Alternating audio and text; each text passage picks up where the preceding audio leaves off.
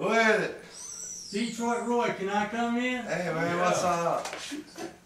What are you guys up to? Man, we just messing around a little bit. Playing some blues. My favorite bass player. How's it going, bro? Paul? You was in that Skynyrd uh, plane crash, wasn't you? Yes, sir. Was Ronnie Van Zant cool? One of the best people I've known. Real salt of the earth. I was gonna grab my guitar now. I've been hanging around you twenty years. Yeah, I still can't get rid of it. you probably never will. Why don't you pick that thing up, man? Let's let's do some something. playing. You want to? Yeah, let's jam. I'd love to. You gotta play blues though in this place. Can we do slow blues? Nah, I don't know if I can do it or not. I'll try. Let's do a shuffle, man. That's what we do, man. Okay. Alrighty.